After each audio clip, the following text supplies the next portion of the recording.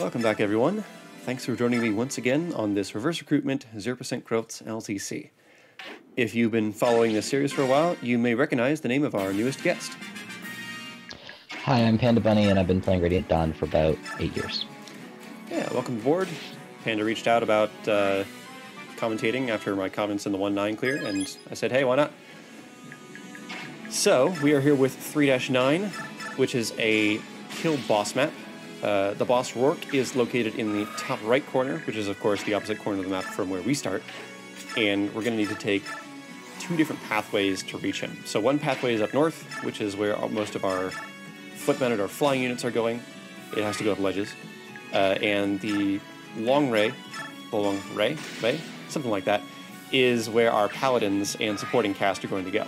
So, this includes Oscar, who is, of course, our best combat unit right now, uh, as well as Titania, Boyd, and Oscar.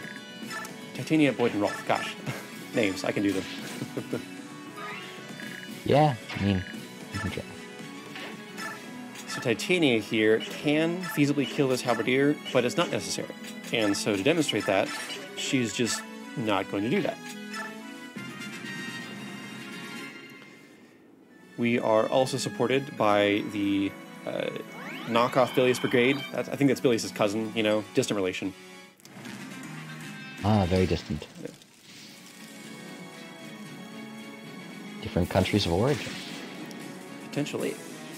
So Oscar with his 23 speed can just barely double the enemy halberdiers, and with his steel great lance can just barely one round them, uh, which is a pretty nice benchmark to hit. Probably wouldn't work that way on hard mode, uh, but he can't always do this because of the thicket terrain. So if we fight any halberdiers on that terrain, he would have to use the brave lance.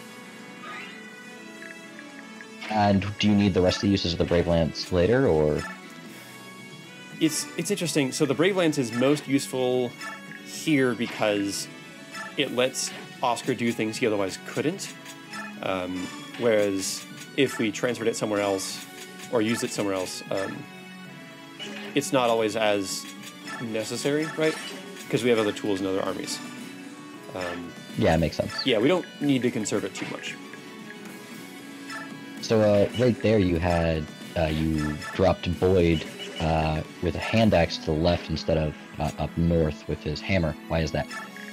Yeah, so this is kind of one of the intricacies of this map where we do want to get through that axe general that is blocking Oscar's way, but if we defeat him on enemy phase with the hammer, then what happens is other halberdiers in the area want to target Boyd and they stack up around him. And that actually makes getting through during the next player phase more difficult than if we leave the general there, attract aggro in a different way, uh, and then push through afterward.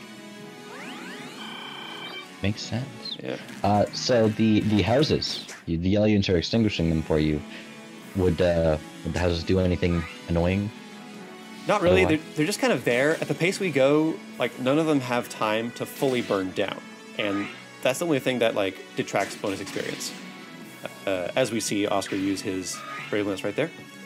Uh, we are on normal mode. We're not really strapped for bonus EXP, but we don't really take any penalties from the houses because none of them fully burn down. All right, 59% displayed hit is not great. Uh, Boyd does actually have Adept on him, which is like he has a 9% proc rate on that because his biorhythm is at worst. It's something, but it's still not great. Like, it's definitely the most uh, dubious, as people would say, part of this clear. But every bit, every little bit of movement does count, or not movement thing, Reliability, yeah, that one. reliability. Yeah. Some people have uh, said reliability is a liability, which is kind of funny. yeah, That is funny. Yeah, i- in games where you have like stronger ability to just control the RN sequences and rig things, uh, you can get away with that kind of thinking a lot more. How dare Titania not kill people? I know, yeah, Titania and Rolf just can't combine to kill a tier one soldier. So uh, this army does claim its second speed wing of the run, uh, which is kind of funny. It's like these guys' entire purposes are to uh, like just collect speed wings for other armies. Gotta go fast. Gotta go fast. So the yellow, uni- the yellow units are playing pretty nice here and like shielding off Rolf um, from a lot of damage. Not that the soldiers would really want to bother with him. They're more interested in attacking the houses if they can. But it's nice. Yeah, I actually found it kind of surprising they don't burn down that one house right next to him. I mean, they can't reburn the houses. Oh, they can't? No, Huh. I always thought they could. no, cannot. So Geoffrey needs his HP here because he has to take both hits from these guys. And uh, Mist as she heals up from that sniper attack was actually pulling aggro away from Ulki, who needs his Laguz gauge uh, for this upcoming turn. So we're finally in range to interact with the boss, starting with Soren, getting a pretty big wallop of chip damage with that Blizzard spell. And now we are about to collect our second stat booster. The spirit dust. Yep, it's on a hidden tile right behind the boss, which normally you would like use uh, in vanilla Geoffrey to Marcia. or Marcia, either one. Uh, but you could like attack and then canto into that space to try to get it. Yeah. Uh, we take the Blizzard spell off of Soren because we don't want him to use it in the next map, uh, where he will be a green unit and not under our control. So we only get so many of those Blizzard tomes, and we don't want to spend them willy nilly. Yep.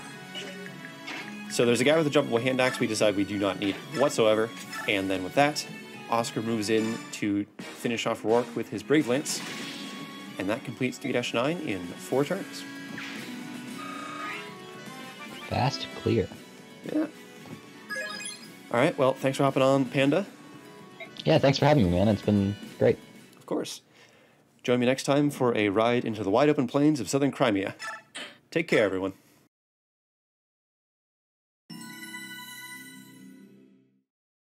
Oh.